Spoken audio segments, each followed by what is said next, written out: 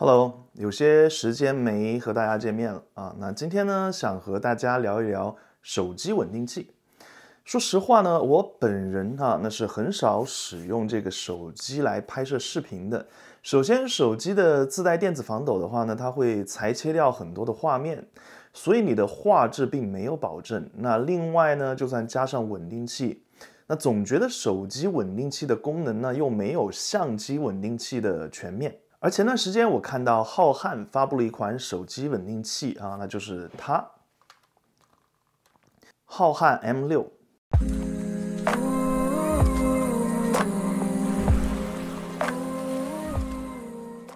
首先，第一眼我是被它的外观所吸引啊，那是真的很有科技感。其次呢，就是它的强大的功能了。下面我们来展开说一说，外观上我们可以看到它设计上是很有这个工业感和科技感。机身上呢，除了黑色，那还有一些跳跃的橙色作为点缀啊。而在握柄的部分，它选择了皮质的这种材质啊，那握起来呢是真的很舒适。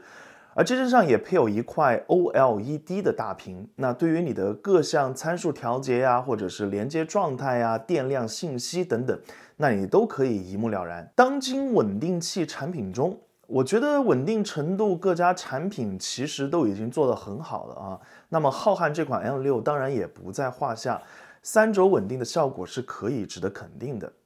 那就算你跑起来啊，画面也依旧很稳定。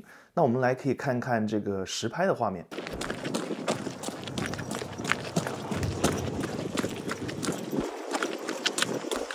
那现在大家看到的呢，就是我是把它镜头翻转过来一个自拍的模式。那大家比如说在做 vlog 的时候，可能会用到这样的方式。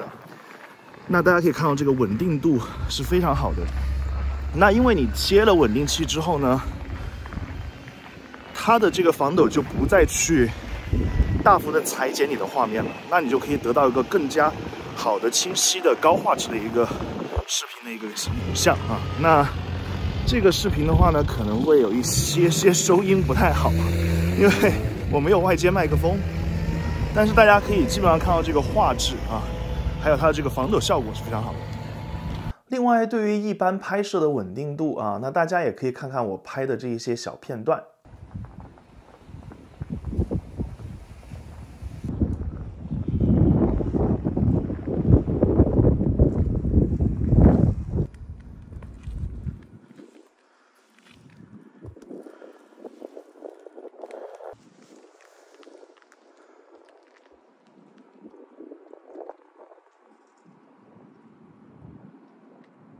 所以在稳定程度上面，大家是可以信赖的。而机身最大的承重呢是四百克啊，那所以几乎现在市场上所有的主流手机它都可以轻松搞定。就算你加上无线麦克风，它也没有任何问题。浩瀚 M6 有一点非常棒的设计呢，是当你如果用到这个手机的超广角拍摄的时候。那么这个电机的位置啊，那很有可能就会出现在你的画面里边啊，所以它呢有一个超广角模式，开启之后呢，你的电机呢它会转换到你屏幕的这一边来，从而使得你的手机的主摄像头的一侧是完全没有遮挡的。那这一点设计，我认为是非常友好和聪明的。另外，在拍摄上，这个无线旋转的拍摄模式，我觉得也是非常有意思啊。不能说我会经常用到它吧啊，但是如果你可能想拍一些，比如说魔幻呐，或者一些街舞的片段啊，那这个功能对你是很有用的。好的，这台机器我认为很有创意和实用的部分来了。大家可以看到它的顶部啊，有一个可以拆卸的磁吸的设计的一个小玩意，上面还有一个摄像头，它是什么呢？它是一个 AI 追踪的一个补光灯的一个集合啊。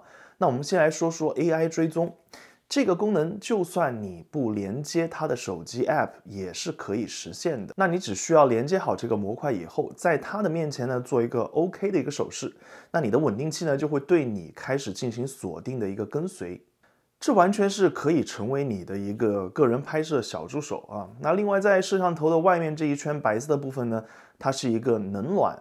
和 RGB 无极的一个补光灯啊，那你可以选择在冷暖之间切换，那你也可以在三百六十度的这个色域下进行你需要的颜色选择，而调节亮度冷暖、颜色，你都可以使用机身旁边的这个多功能滚轮来调节。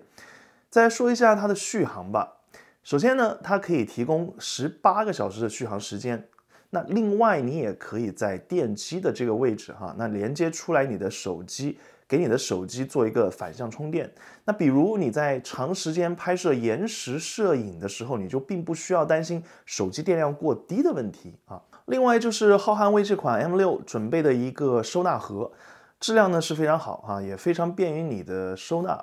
那么如果有在考虑购入手机稳定器的朋友们，我认为这款浩瀚 M6 无疑是你。在目前市场上的一个最好的选择了啊，那价格呢也非常亲民，这一套下来包括补光灯啊在内啊，那大概是在一千五到一千六百元的样子，所以是很值得考虑的。